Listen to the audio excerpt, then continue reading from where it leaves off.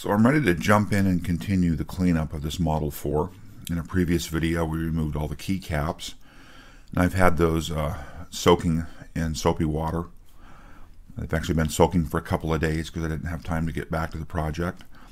What I wanted to tackle next was the backing plate here around all the key switches uh, and get it cleaned up. And the first thing I'm going to do is just take a soft brush and I'm just going to brush out of here what I can. I don't expect much to come out, honestly.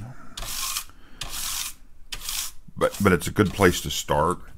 Uh, something to take note of is the little metal bar here. Make sure I've got, hopefully focus on there. This little metal bar, it uh, sits underneath the space bar. And what it's designed to do is if I push the space bar on this end, it'll push the metal bar down and this piece uh, this other side will drag the spacebar down with it, and it keeps the spacebar moving up and down easily. This would unclip out from one of these little plastic clips here. Make it a little bit easier to clean. The problem is, is I broke one of these little clips off once before and had to find a replacement. So I'm just going to leave that little bar in place as you see, and I'm just going to continue to just kind of brush. Get as much out of here as I can just with a soft brush. And then I'll go a little deeper cleaning. The brushing's actually helped. I can see uh, that it's actually removed a fair amount of stuff. There was a lot of lint and dirt caught around this metal bar, and actually that's uh, cleaned off. You can hear Rosie in the background, as you usually can. So next, I have a double-ended toothbrush here. This is actually a toothbrush for uh, brushing dog's teeth. I like it because it's got the small side here. It's soft, but not too soft. Are you coming to help, Rosie? Are you coming to help? Uh, on the larger end, but the small end here, this is good for getting down into these little areas. I'm just going to go ahead and give this a scrub dry here. Just to, once again, kind of break anything that I can knock loose. Part of why I'm doing this dry is I want to knock as or knock as much of the lint and surface dirt and stuff off and then I'll brush it out of there before I actually take a little alcohol to this and do a final cleaning. that way the alcohol is not washing down around the key bodies into the assembly. Just help keep the PC board underneath a little bit cleaner. So I'll work my way through here and just give these a Nice light surface scrub. You know, this is a process I've kind of evolved over time. I'm sure other people have a different process. Uh, my little process here has served me well over the years.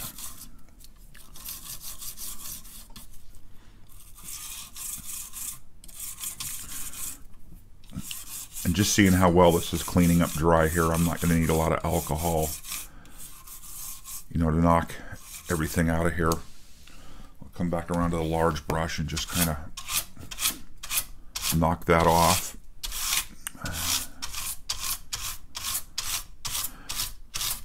Just with this light brushing, it already looks a lot better. I'm not sure how well that shows up on camera. I'm actually debating here whether I even need to do a little bit of alcohol cleaning in there. Uh, this would be a little easier if I didn't have the keyboard in the unit. The keyboard cable here is permanently attached and winds its way through and is kind of a pain to, to remove, which is why I haven't done it. If you're going to use some alcohol, this is isopropyl alcohol. It is electronic cleaner, and that's because it's 99.9% ultra pure. Uh, it's got a moderate evaporation rate, which gives you a little bit longer working time. A regular store-bought alcohol, like you'd use to you know clean a wound, uh, isn't as pure and can leave those impurities behind. Uh, this wasn't that expensive. I've had this for years, and you can see I've used about that much of it. Uh, it's just great for for this kind of stuff because you know it's going to leave a clean surface. If you're going to use the alcohol just as it says here, uh, vapor is harmful, irritated eyes, skin, and respiratory, respiratory tract. Using a well ventilated area. Read the directions, although none of us actually do. Uh, dilute, dilute prior to use due to a consumer product regulation users and blah, blah, blah, blah, blah, blah, blah. And of course, I'm sure the state I'm in here is listed, although it actually isn't. Should dilute at 25% by mass with water or non-VOC solvent like acetone prior to use. So that brings us around to the word acetone. Acetone attacks plastic. Uh, it will dissolve plastic. I would not get acetone near this keyboard. These are plastic switch bodies. They're plastic plungers. Uh, fluid can get around that plunger down into the body of the switch. I wouldn't want to get acetone anywhere near these. Uh, if it got down between the plunger and the switch body, I'm sure it would mess up the switch inside. It, it would, would attack and damage. Uh, these clip down into the metal plate. It could attack and damage those. Keep acetone away from plastic. If you're in, you know going to use acetone, if I was going to try acetone on the case, I would try to clean a little spot here inside just to see how the acetone attacked the plastic. My experience has been that acetone pretty much always attacks plastic uh, in old computers. Uh, I've actually made the mistake a couple times of just going straight to acetone and messing something up. I'll get myself a little shot of alcohol here. I don't need a lot.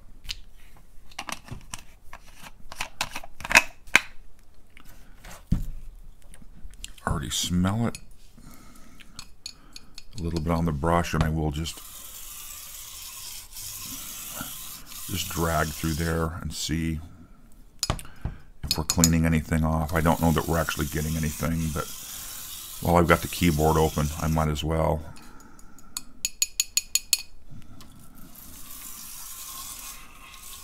And it shouldn't take a lot of scrubbing. At this point, what I'm doing is really cosmetic. Uh, having dirt down in here is not going to affect the function of the keyboard. Um, in this place. You can see that, I don't know if you can see it or not on camera, but capillary effect does draw the uh, alcohol up underneath between the, the key switch body and the metal backing plate. Uh, there's no reason to worry about that. It's going to evaporate out if a little bit got down into the switch body. It wouldn't hurt it. And that would also uh, evaporate out. So really I'm just cleaning here around where the key cap gaps are and where dirt can get down in. And I'm just lightly rinsing in the alcohol here and I'll work my way through diagonals here. Like I say, in this case, I really don't think this was necessary, but uh, I can be a little uh,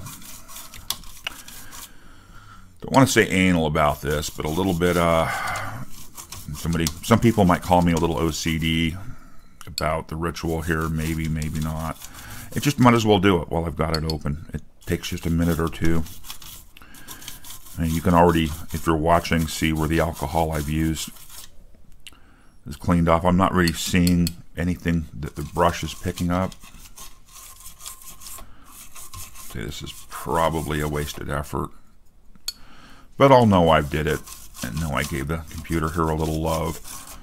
Uh, getting him or her, depending on your thoughts or it, a little bit of attention.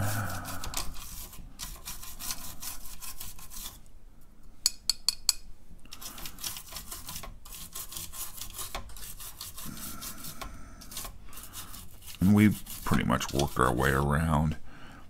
I don't really see any physical difference. Uh, quick comment, often there might be a little silicon lube down between the metal bar and the plastic housing here. I'm just I'm not going to get the alcohol in there if there is and disturb that. There's no reason to disturb it.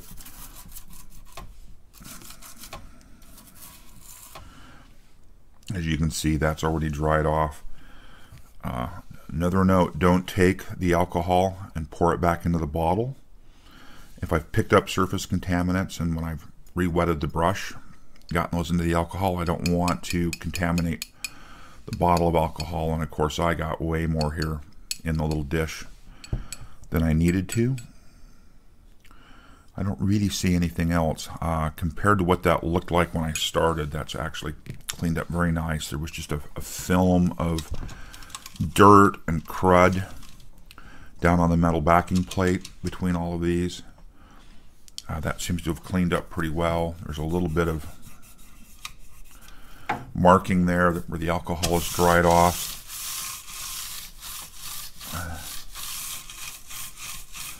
you know, for me, I'm I'm happy with that. I know I've made the effort. I can see that the dirt and gunge and stuff that was down in there has come off. Uh, apparently, it wasn't oily or greasy. Uh, I did rebuild a keyboard that came out of probably an auto shop. I wasn't sure. That just had a film of oil kind of everywhere uh, and was difficult and nasty to clean. Uh, it turned the brush and the alcohol black as, as I cleaned that out. I did get that keyboard working. Anyhow, there's the next step uh, in moving this forward. A little safety comment here. Move the camera. It is a Model 4. The main power switch is sitting right here. The leads are exposed. Make sure it's unplugged when you work inside of the machine. Only plug it in when you need to actually have it plugged in. If this had been plugged in during this, uh, probably the brown, well, one of the brown and one of the blue wires would have been hot. It's a double pole, in this case double throw switch, so it switches both the neutral and the hot.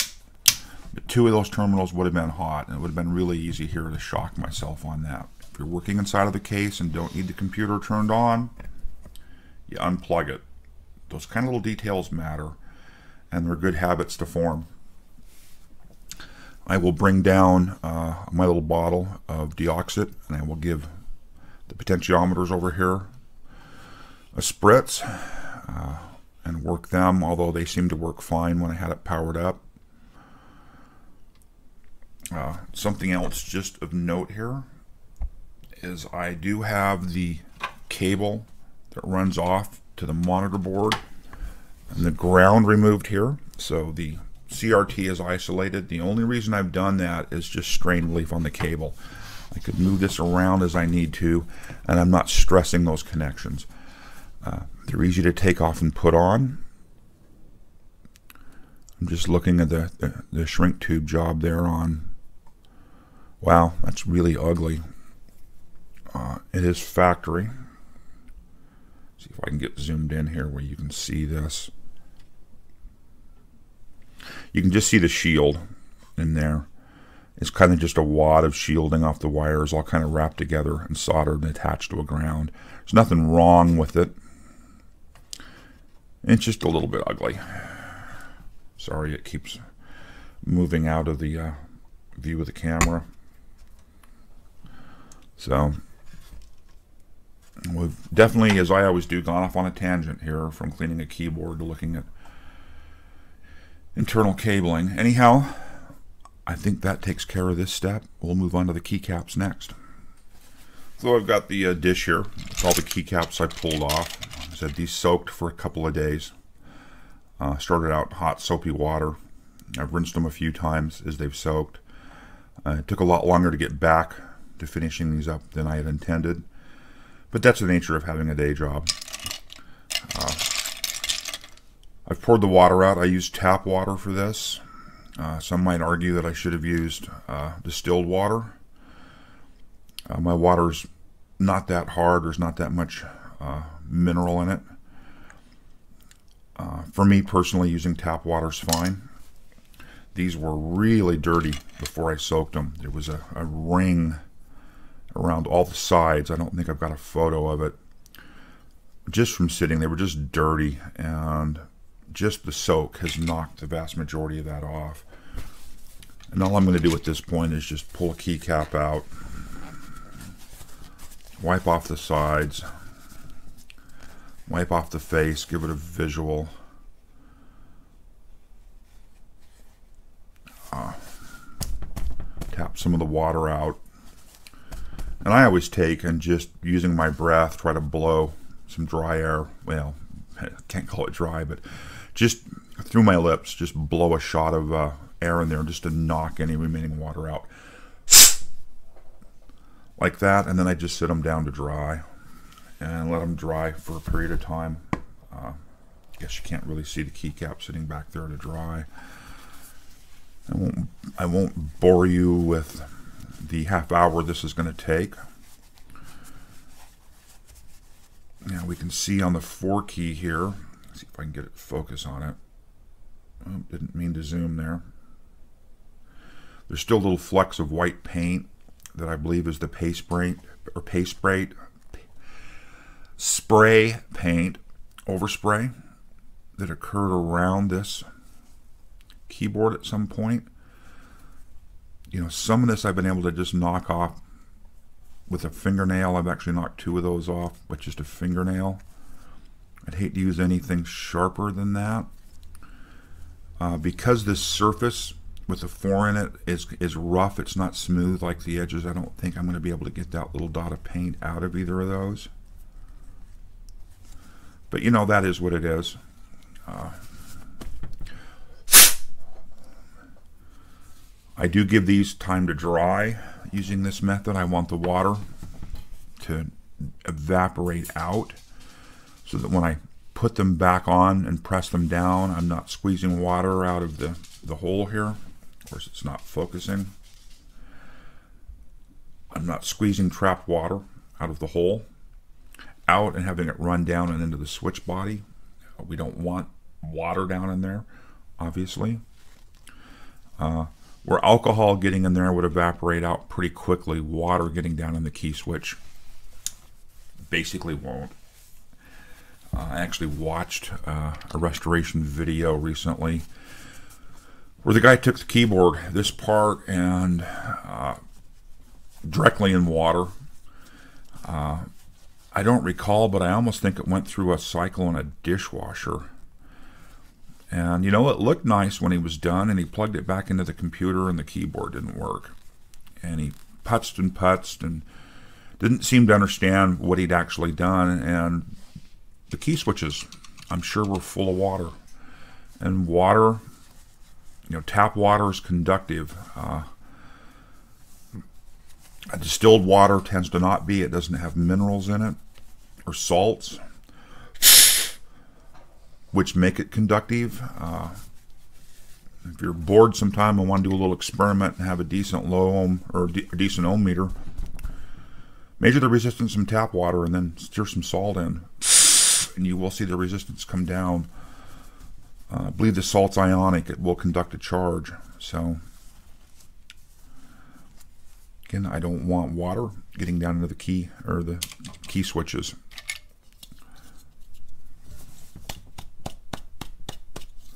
Paper towel is getting wet here. Of course it is. These are wet. I really want to wipe them down before the water on the bodies evaporates. That way I won't have scale or any kind of residue left behind.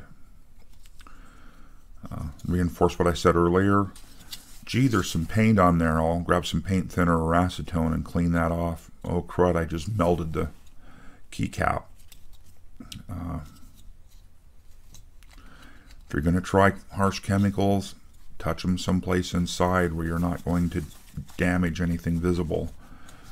And be careful or heed my warning and just don't do it. So anyhow, I'll shut up at this point and keep chugging away with these.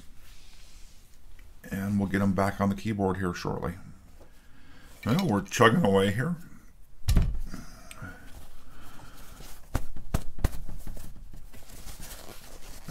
Every few keycaps the paper towel becomes wet enough. Well, I just watched that keycap scurry across the floor. I can see where it's at. I'll go retrieve it here in a second. Every few keycaps, I don't know how many, the paper towel becomes moist and I just get a fresh one. I will keep chugging along here. Some of these I just I can shake a large amount of water out of when I retrieve it from the bowl. It's, it was sitting in there upside down.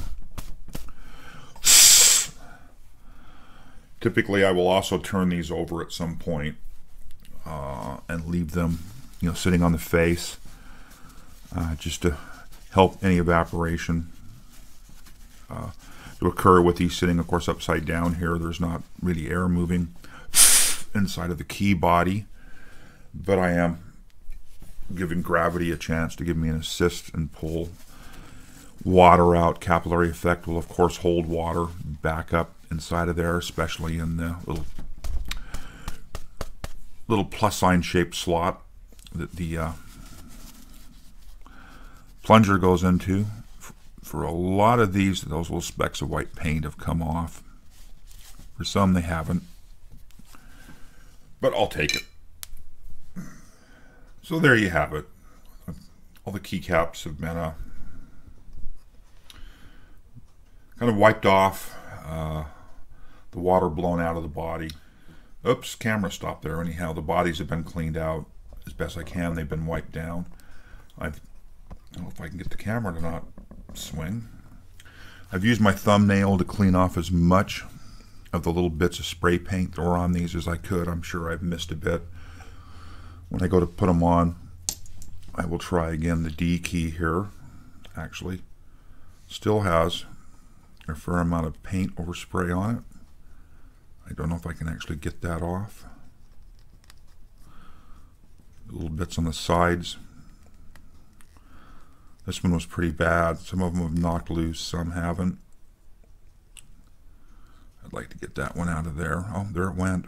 So, little bit of persistence. I would use nothing harsher, as I said before, than a thumbnail on these. That actually helped a lot. That got that big spot off. Uh, a comment about the space bar, just so it's said, is these little nylon inserts here or would engage back here with the metal bar back on the keyboard you uh, they do come loose you don't want to lose them you want to pay attention. Uh, they will vanish in water It'd be a little hard to see especially in a white sink. You don't want to pour them down a drain. Uh, just a little tip I speak from experience. I think some people might be tempted to retro bright the white keys to get them back to that bright white.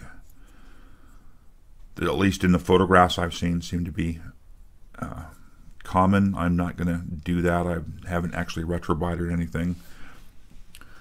I haven't felt the need at this point. I'm sure sooner or later it'll happen. Anyhow, I'm going to let these just sit for a while and we'll get them back on the machine.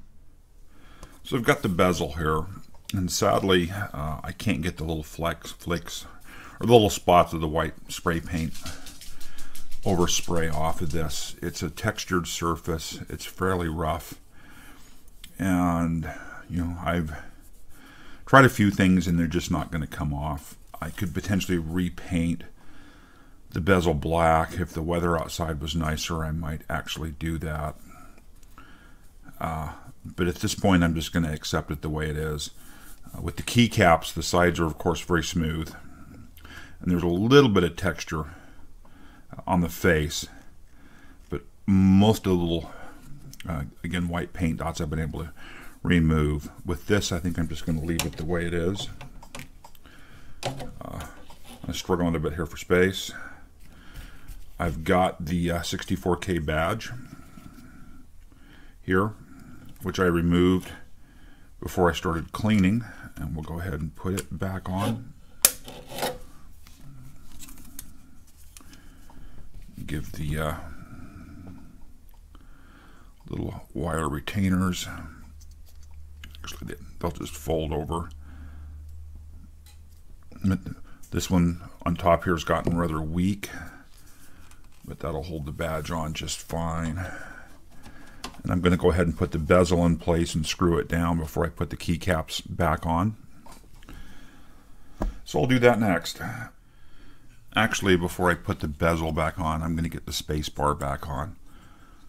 The little white clips here need to catch around these end posts. And this can be a little bit tricky to do.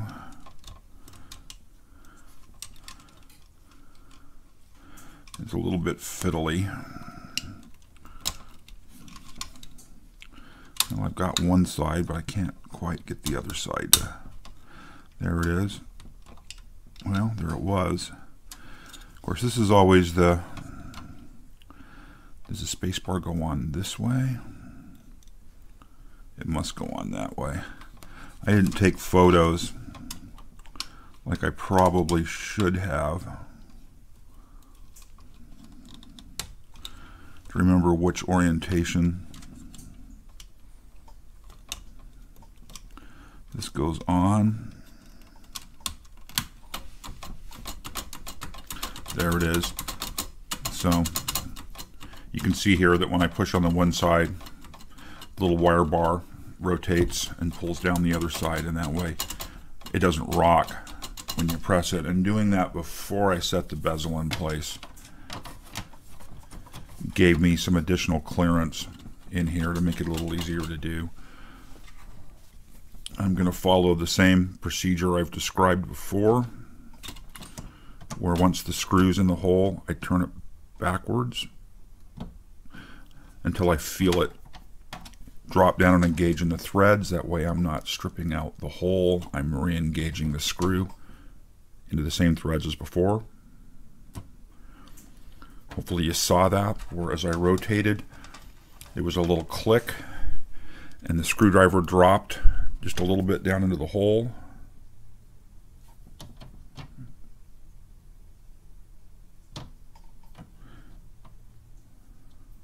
There it was. Idea, as I've said before, again, is to engage the threads that were cut originally when the screw was turned in. There it is. Since the uh, threads are not molded in, they are cut the first time the screw is put in place.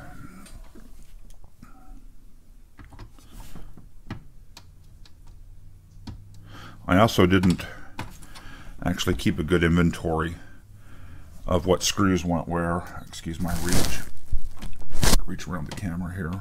I actually felt that one drop right in. And they should be really no more than finger tight turning to get them drop down in because you're not cutting new threads.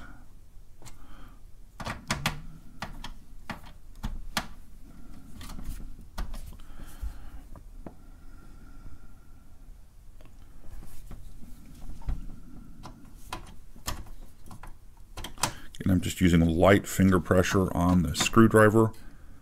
Okay, this one's a little tighter than I would have liked. The bezel's in place. And we're looking pretty good. Uh, I can tell that screw there isn't quite down tight. These don't need to be overly tight. Just firm. Again, if you over tighten them, you take the risk of stripping the threads out down inside of the little plastic standoff that they turn down into. And there we've got it. You can, of course, see, even on camera here, very easily the little white flecks. Some, like I say, at some point I may come back, tear this down again, and paint it. Undecided, anyhow. There's the next step in our reassembly. So I'm going to go ahead and give each one of the control potentiometers for the monitor over here a shot of deoxit. Zoom in here a bit and just point something out. These potentiometers are mounted with the slot where the little phenolic board comes through up, which allows dust to fall down in and make the pots dirty. It's always, if, if you're doing this yourself, better to mount these down. Helps keep dust and dirt out. At the same time, it's easier to work on with the posts up. So from a manufacturing standpoint, this was probably easier. But as I mentioned, uh, with them down helps to keep them a little cleaner. I'll give each one of these just a little shot. If I can get lined up in there and just rotate it a few times, I can actually see, now that I'm moving in a little bit of lint there, it was moving around as I turned it. So we'll just give this a shot. A little shot down into this one. DeoxIT, of course, helps clean off the uh, carbon track inside that the wiper rides on and lubricates things a bit. Again, that should be fine. So, with those cleaned, I think the next step is to move on to uh, Rosie. You and your tapping toenails is to move on to uh, getting the keycaps on.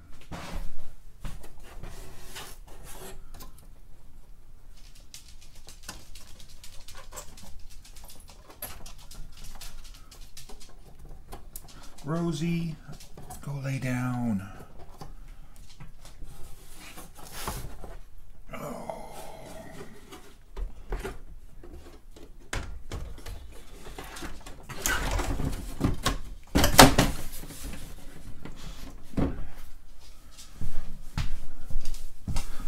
Rosie, go lay down. Go lay down. I'm trying to work. Get the computer plugged in.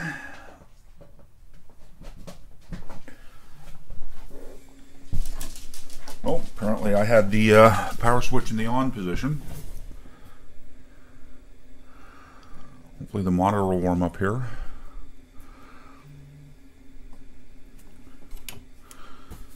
And I can adjust it. Okay, there's a raster. There it is.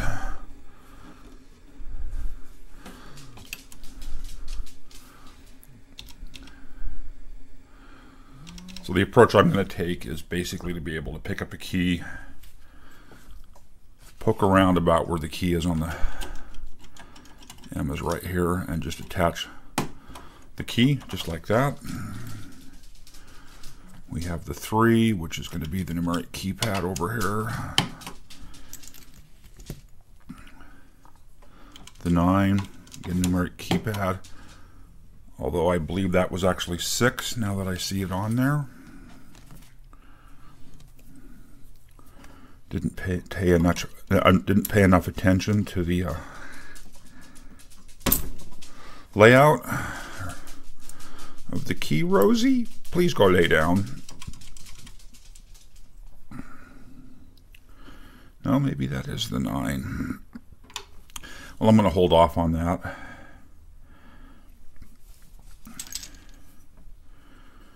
Zero is going to be up here.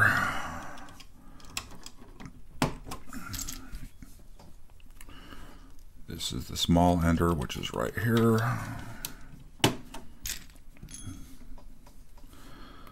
seven.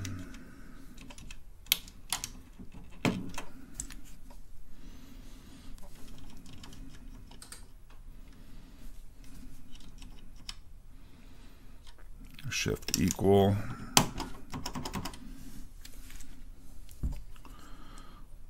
Zero, which I believe is right here. Oh, zero? Right there.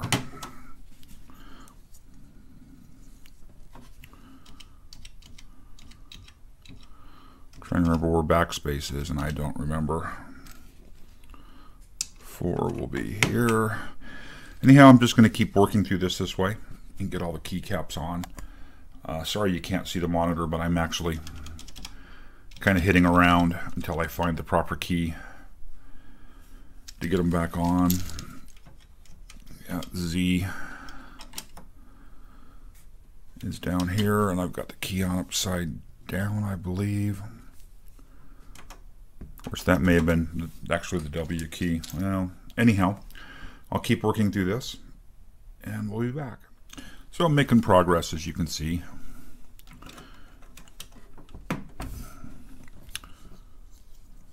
There's seven.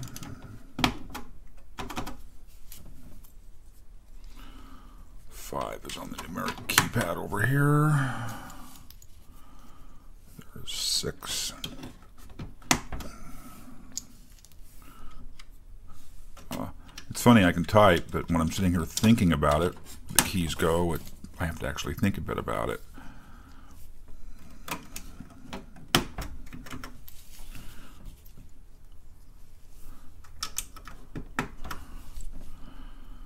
Two.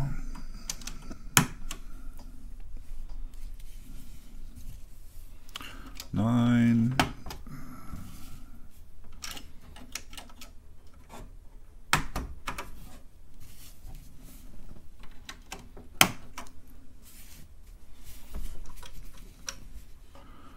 Uh, heck, right there. Semicolon. That should be backspace.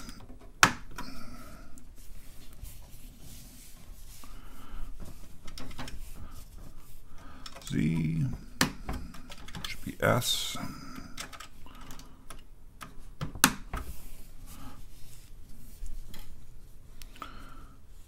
Why do I seem to be short a couple of keys? Ooh, that doesn't thrill me. There's the. So let's see. One of these is the 9, one of these is the 6. So yeah, that's the 6. That makes that the 9. Uh, wow, I appear to be missing a keycap, which is a complete mystery. I did retrieve the one that fell on the floor. Oh, there it is. It was hiding in plain sight.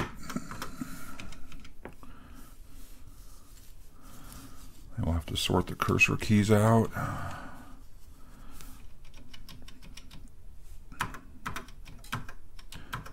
Okay, so this is control here.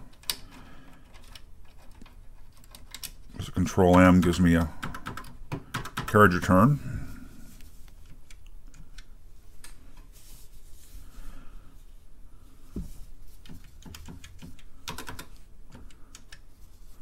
Uh, this is decimal point that I believe is going to go right here, like so.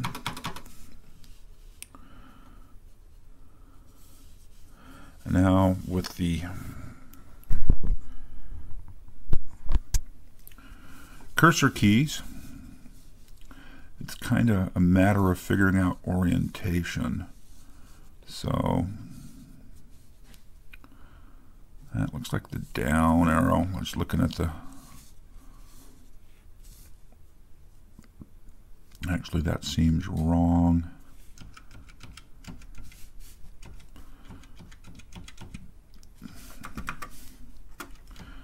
Okay. So there's caps lock right there. Okay, so, yep. Now it really is just a matter of sorting out the uh, cursor keys.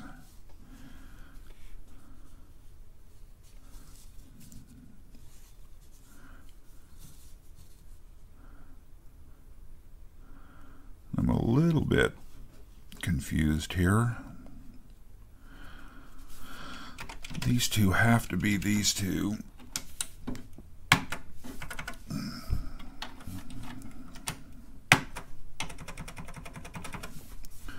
That really leaves me these two guys, and they seem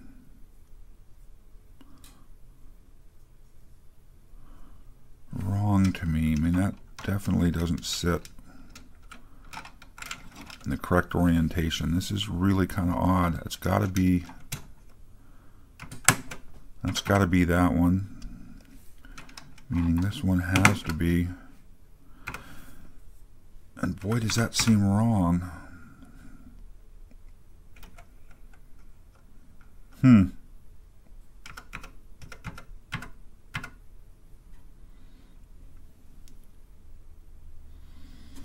Interesting. I'm not quite sure. Uh, camera back up.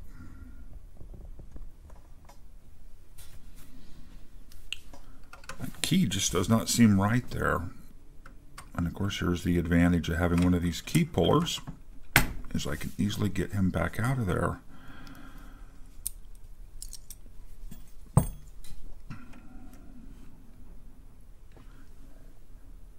You know, the the flat to the front, the slope to the back, those three have to be correct.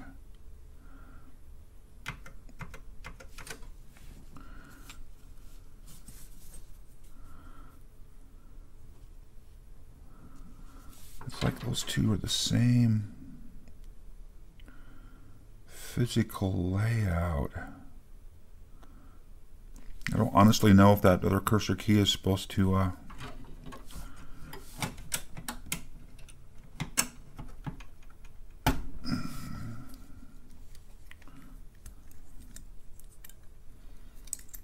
didn't pay that much attention when I removed them.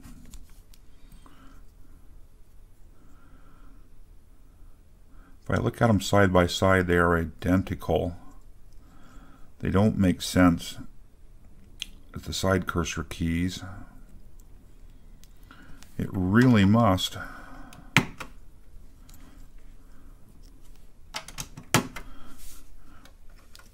Where these are sloping away, this is sloping up, but that just must be how, that just must be the proper orientation. I just never noticed that before, so. There we are. We have keycaps back on the machine. If I can get the, uh, I know the focus jumbles around when I set the set screw here. I apologize.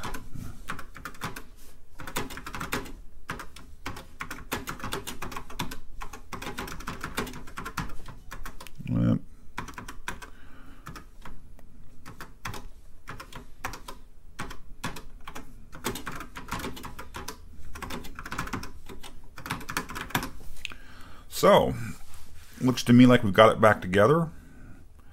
I can see a couple more paint spots on keys I'm going to try to rub off. Besides that, we have a clean keyboard. We have a clean machine. Boy, that seems... Did I do that at some point? Not realize I'd done it? I don't remember that scratch being there before. Uh, sorry if the uh, wheezing got caught on tape there. I'm still fighting the cold that's been going around not quite over it. Anyhow, I think we have a nice operational Model 4. I still haven't tried to boot it from an actual floppy. I ordered a uh, high-res card for it uh, out of the guy in Australia. It'll get here in the next couple of weeks, and we'll go through installing that. And I have an M3 uh, system expander. So in an upcoming video on the Model 4, I'm going to install a high-res graphics card. I've ordered one from the uh, gentleman in Australia, uh, and I've got an M3 a system expander coming from Peter Bartlett at Bartlett Labs, which will give me hard drive emulation and Ethernet port and all those things. And we'll be adding that on as well and giving it a play. So anyhow, I hope you've enjoyed this up to this point, and we'll call this good. Bye.